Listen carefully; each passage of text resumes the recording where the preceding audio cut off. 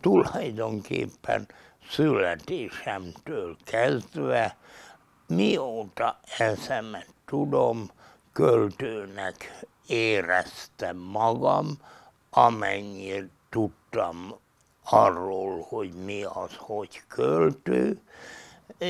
Korán kezdtem verset írni, ez aztán az egyetemen teljesedett ki igazándiból, mert hát a minőségileg ö, visszagondolva akkor kezdtem írni olyan verseket, amiket máig vállalni tudok. A kilenceket is említeni kell, mert mi lényegében valamennyien vidékről származók és kollégisták voltunk, akiknek egymáshoz az egyetemista léten túl sokkal több közünk volt, egymásnak mutattuk, s javítgattuk közösen írásainkat.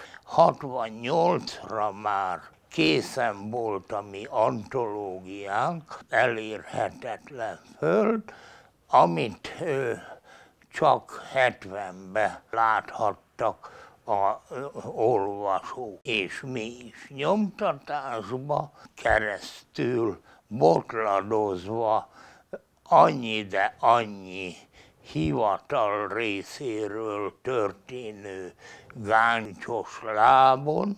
Kenyeret anyám úgy eszik, mint aki folyvást éhezik, és darabkájáért, ha lehull, pokol jár irgalmatlanul. Narancsot anyám úgy eszik, mint aki közben vétkezik, mint aki lop, bár nem zsebes, s fél, hogy valahogy rajta veszt. Anyámat a gondok úgy eszik, harapja, rágja mindegyik, tépdesik, bár csak csöpp falat, hogy rajta nagyjá hízzanak.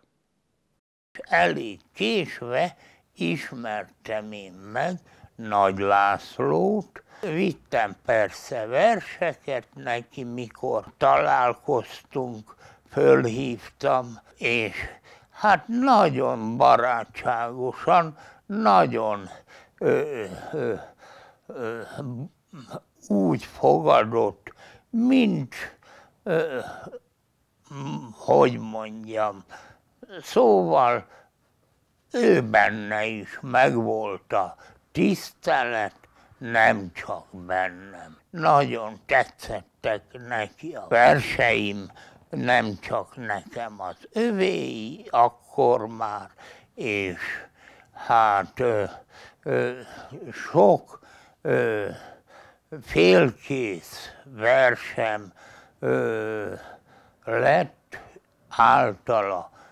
véglegesítve az ő segítségével az indulásom idején. Hogyha egy jó tündér három kívánságodat teljesíteni, akkor mi lenne ez a három kívánság?